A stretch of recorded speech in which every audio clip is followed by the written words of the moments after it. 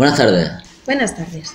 Pues señorita, eh, veo que su currículum es muy extenso y muy bueno y está usted casi dentro de la empresa. Falta esta última prueba, que es el psicotécnico, que lo he hecho yo mismo, ¿no? Son muy, muy facilitos, pero es la última prueba.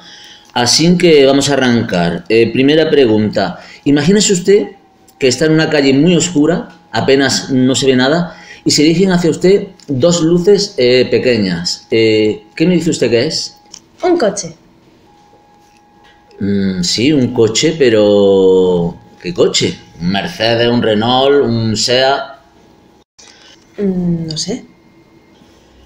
Mm, No empezamos muy bien, no empezamos muy bien. Pero bueno, venga, vamos a la segunda pregunta. No se ponga usted nerviosa, tranquila. La misma calle, el mismo callejón, oscuro, y se dirige hacia usted una luz cuadriculada pequeñita, se dirige hacia usted. ¿Qué dice usted que es? Una moto. Una moto. Sí, una moto. Pero no me dice usted qué moto, si es una Yamaha, una Honda, una Aprilia. No. Vamos a ver, pero es que yo eso no lo puedo saber. Le voy a hacer la última pregunta y. y no sé.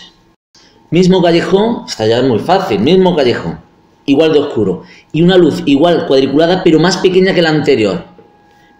Eh, dígame usted, ¿qué es? Una bicicleta. Una bicicleta. Pero de montaña, de calle, de. Vamos a ver, pero si la calle está oscura, yo qué sé. ¿eh?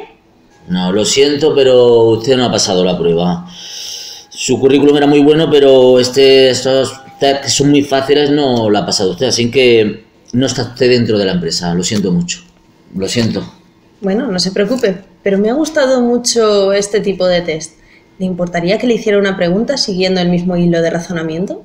Sí, sí, sí, no sé, sin problema ninguno, si esto hasta lo he hecho yo. Eh, vamos, que. Dígame. Verá, va por la calle, en una zona oscura, y se encuentra una mujer vestida de rojo con un vestido corto, un bolso y contoneándose. ¿Quién es? Pues por, por Dios, eso está fa- facilísimo. Es una prostituta. Sí, pero su hermana, su madre, su prima, su tía.